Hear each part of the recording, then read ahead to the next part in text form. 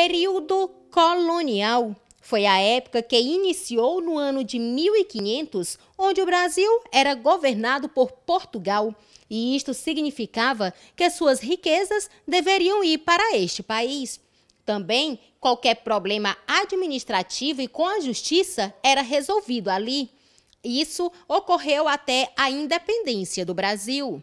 Há quase 200 anos, no dia 7 de setembro de 1822, o imperador Dom Pedro I proclamou a independência do Brasil. Mas o Maranhão só veio aderir a essa independência há exatos 199 anos, no dia 28 de julho de 1823. A adesão do Maranhão à independência do Brasil se deu na Igreja Matriz, na cidade de Caxias. E o feriado de adesão do Maranhão à independência do Brasil, comemorado hoje, altera o funcionamento de estabelecimentos e serviços aqui também no município de Balsas. A Câmara de Dirigentes Logistas de Balsas, com antecedência, conversou com o setor lojista, falando como se daria o funcionamento do comércio neste feriado.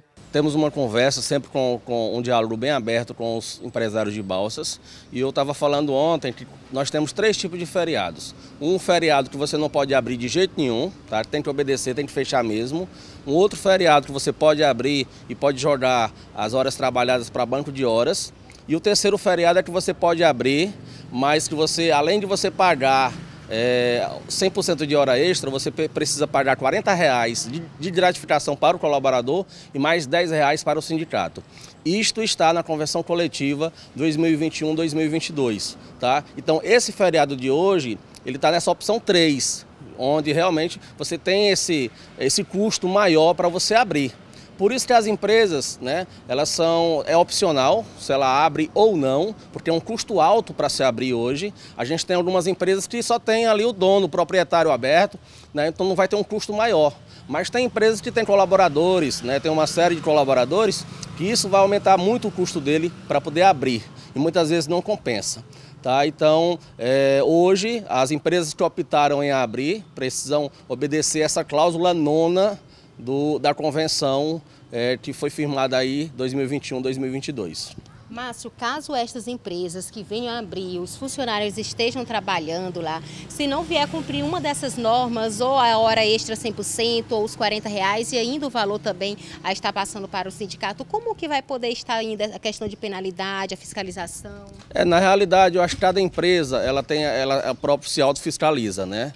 A gente sabe que também tem os colaboradores que hoje, eles têm conhecimento, eles têm esclarecimento, né, onde eles podem estar cobrando isso também do, por parte do empresário. Né? Mas hoje, normalmente, todas as empresas fazem isso, né? elas sempre estão à risca ali, cumprindo suas obrigações direitinho, junto aos seus colaboradores. Né? De centenas de empresas que temos aqui em Balsas, a CDL sabe mais ou menos a quantidade daquelas que estarão abrindo hoje?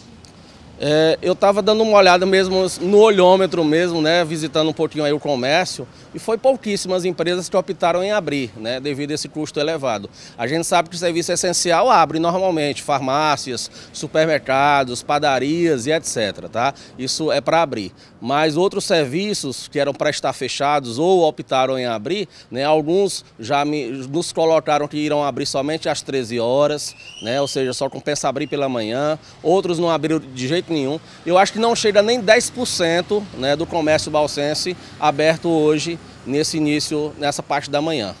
Os demais segmentos deverão observar suas respectivas convenções coletivas de trabalho. Caso não haja convenção autorizando a abertura, o segmento deverá considerar o dia feriado. Os órgãos públicos também estão fechados no dia de hoje e só retornarão ao funcionamento nesta sexta-feira, assim também como os bancos. Nas agências bancárias, apenas os caixas eletrônicos estão funcionando no feriado de hoje. Aqueles clientes que desejarem antecipar o pagamento de seus boletos podem estar utilizando os canais eletrônicos Internet Bank ou os correspondentes.